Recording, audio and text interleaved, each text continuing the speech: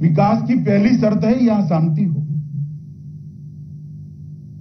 और कौन इसको निकालेगा? सरकार निकाल सकती है क्या? ना भाई, ना।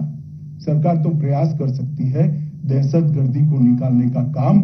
मेरे यूथ क्लब के आज मेरे सामने उपस्थित पैतालीस हज़ार युवाओं ने करना है, आप लोगों ने करना है। आप लोगों ने शांति और विकास का दूत बनकर समग्र जम्मू कश्मीर के युवाओं में संदेश लेकर जाना है। ये रास्ता नहीं है हमारे जीवन को आगे बढ़ाने का। ये रास्ता हो ही नहीं सकता।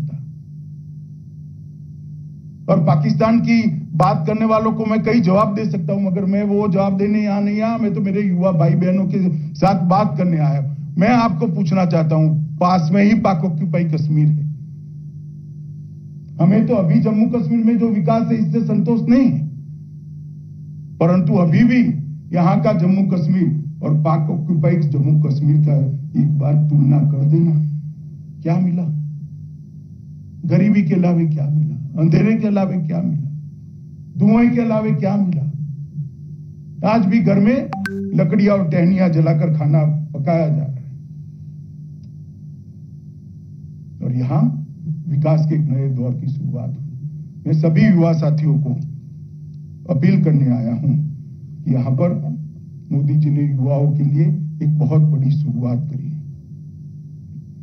सर्विस सिलेक्शन बोर्ड द्वारा पच्चीस हज़ार सरकारी नौकरी नौकरी, ये दो साल के अल्पकाल के अंदर एक पैसे के भी भ्रष्टाचार के बगैर दिए सात हज़ार नियुक्ति पत्र कल ही देने जाने जा रहे खादी द्वारा मधुमक्खी हो या इलेक्ट्रॉनिक चाक हो, मिट्टी के बर्तन बनाने वाले। और मेरा तो आप सभी से निवेदन है कि जो कम पढ़े लिखे युवा है, उनको खादी ग्रामीण विकास बोर्ड के साथ जोड़िए। एक मधुमक्खी का डिब्बा लाकर घर पे रख देंगे दो तीन हज़ार रुपया कमा लेगा। एक मिट्टी के बर्तन बनाने का इलेक्ट्रिक चाक लेकर आएगा, वो पाँच हज़ार रुपया कमा लेगा। उनको जोड़िए आप खादी विकास बोर्ड के साथ। उनको लगभग लगभग चार लाख लोगों को रोजगारी देने की शुरुआत हुई।